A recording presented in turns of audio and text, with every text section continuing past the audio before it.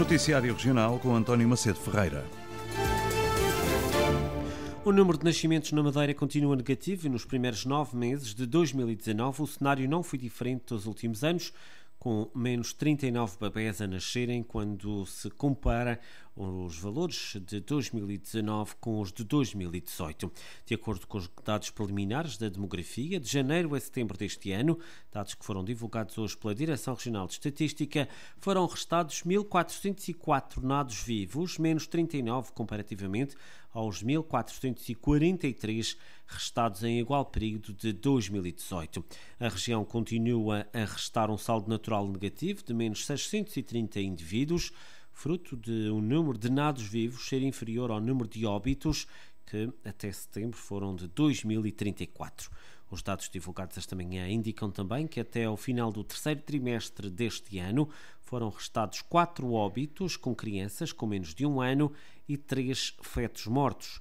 No período em referência, realizaram-se 350 casamentos, menos 24 que no mesmo período do ano passado. O anúncio foi feito pelo presidente do Clube. O Nacional vai ter um pavilhão para as modalidades amadoras. O novo recinto desportivo vai ser construído num terreno público na zona do Madeira Tecnopolo, no Funchal. Durante o discurso do jantar, que assinalou os 109 anos do Nacional, Rui Alves citou uma promessa de Miguel Albuquerque para anunciar o novo espaço desportivo.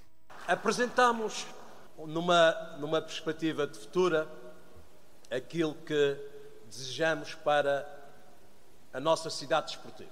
Uh, tive a felicidade de uh, ouvir do Sr. Presidente do Governo e com a cumplicidade do Sr. Secretário de Educação que o nosso pavilhão será construído junto ao Tecnopolo num terreno público. Muito obrigado. É assim que caminhamos. Caminhamos porque é justo referir que entre noivo, o noivo e as noivas, umas mais ricas, esta noiva sempre foi um, uma parte aparentemente mais fraca no trato e neste momento existe um desequilíbrio muito grande no quadro das infraestruturas a favor da noiva mais rica. Vamos corrigir esta situação, Sr. Presidente, porque o desporto merece, o Nacional merece.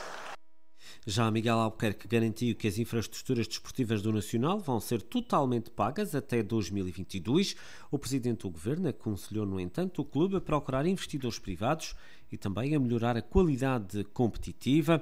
O presidente do governo deixou também claro que os clubes vão ser apoiados financeiramente num programa plurianual. O que combinamos foi que já neste orçamento que vamos apresentar, que o governo vai apresentar agora em janeiro, nós vamos, para o futebol profissional, apresentar um quadro plurianual de verbas que confere aos dirigentes do clube a possibilidade de negociarem e gerirem com grande facilidade os contratos, as transferências de jogadores e o início e fim da época desportiva.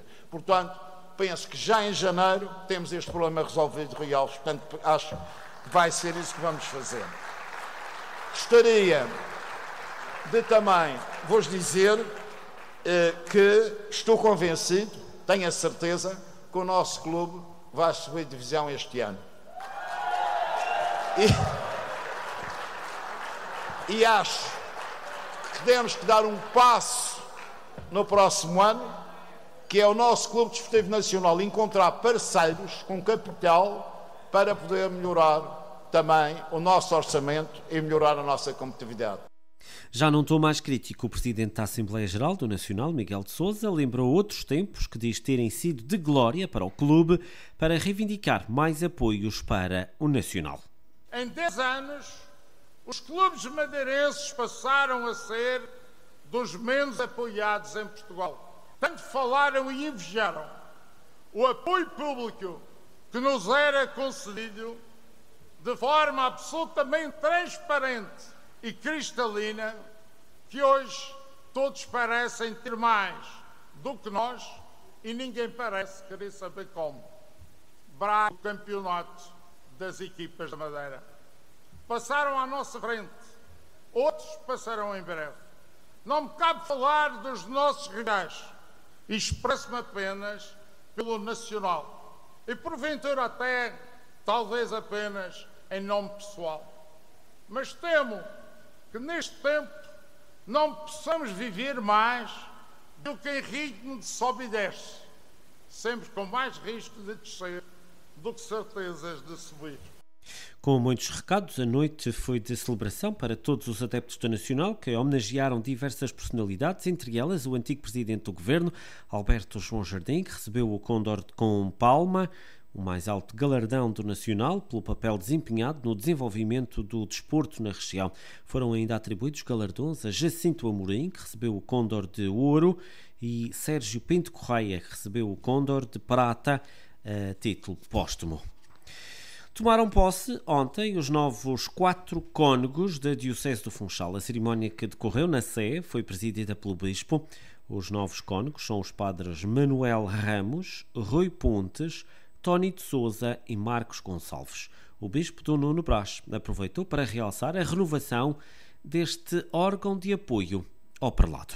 É, pois, com alegria eh, que vejo eh, o cabido da nossa Diocese renovado com mais força, com mais vigor, nesta certeza de que os novos cônegos agora instituídos continuarão, continuarão esta tarefa de ser uh, a memória viva da nossa diocese, mas memória e viva. Viva no sentido de, de que esta nossa catedral continue a ser uh, o lugar para onde todos olham e onde todos podem encontrar uh, uma palavra de perdão, uma palavra de entusiasmo, uma palavra de alegria evangélica.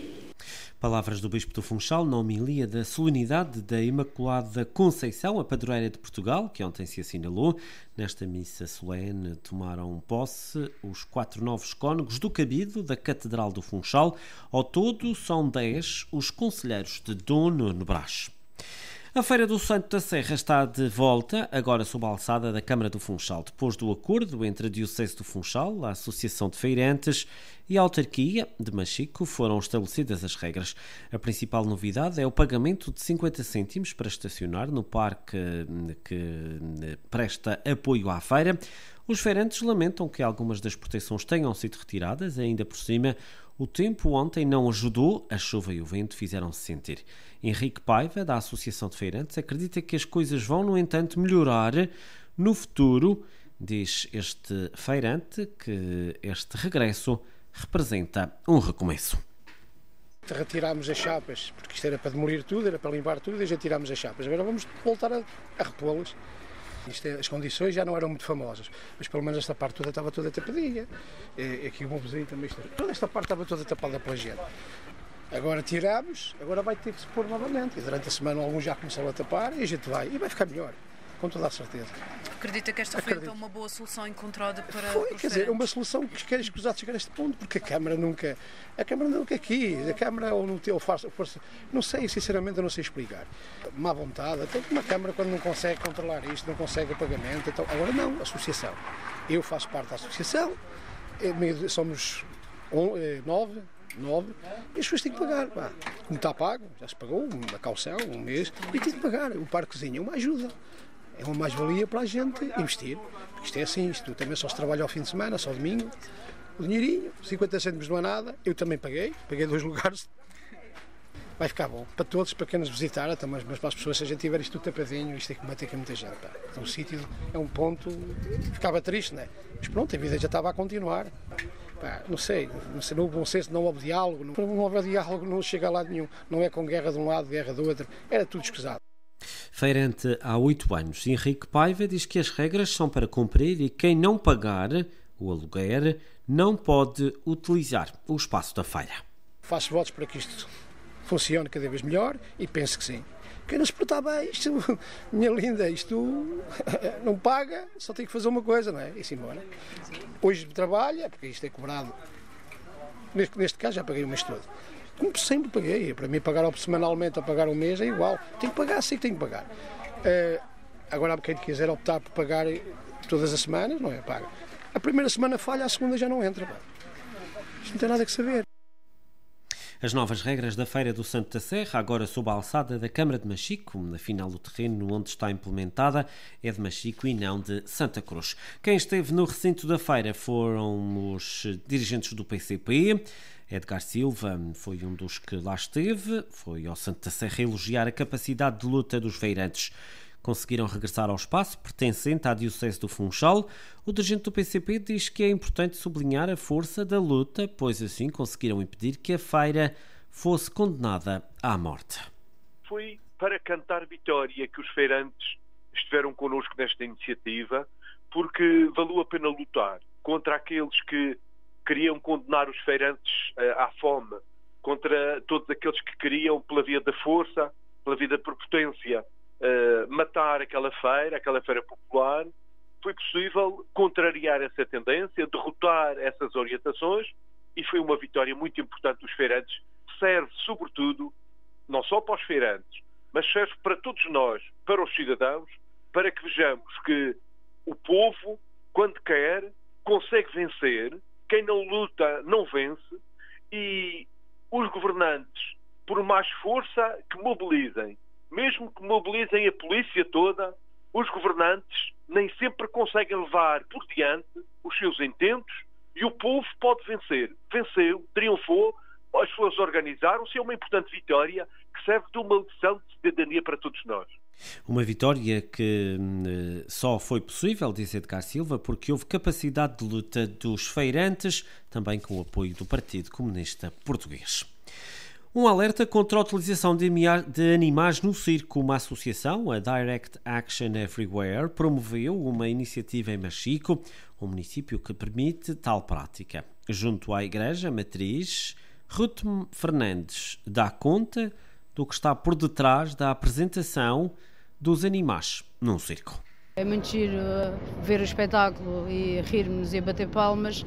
Se não nos mostrarmos e não nos preocuparmos com o que está por trás, com o treino, com o retirar as crias muito cedo às mães para serem mais fáceis e adaptáveis para o treino, muitos passarem fome, as formas de recompensa, aprendizagem, alimento que muitos deles são sujeitos, as jaulas em que eles vivem são muito pequeninas, a forma de transporte que eles são utilizados, tanto terrestre como marítimo, o acompanhamento dos veterinários, tudo isso é uma coisa que deve ser pensada. Não é à toa que foi aprovada em Assembleia da República ano passado, o circo com animais seria proibido em Portugal. No entanto, temos uma fase de transição de seis anos, portanto, hoje acho que nós devíamos aproveitar essa fase de transição. Sim, se é verdade que nós não pomos em causa que eles amem os animais, que eles gostem dos animais, a gente põe em causa que eles usem os animais para uso e fins decorativos. E toda a forma que é utilizada, eh, nós não inventamos, nós vimos vídeos em que isso é verdade. Pode não ser nós não estamos aqui contra o circo e efetivamente estamos aqui contra os animais no circo. Ruth Fernandes reconhece que houve pouca participação neste protesto contra o uso de animais no circo em Machico, mas a abordagem foi positiva. A iniciativa foi em Machico, o único município da região a autorizar o circo com animais. A dirigente desta associação deixa o apelo para que as pessoas deixem de ir ao circo que tenha animais.